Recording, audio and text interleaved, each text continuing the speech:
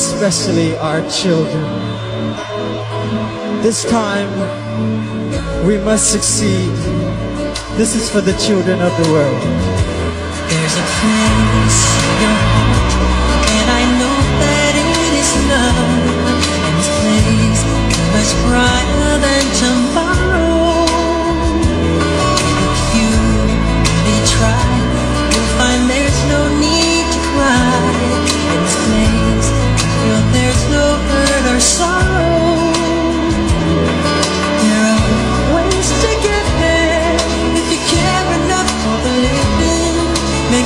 space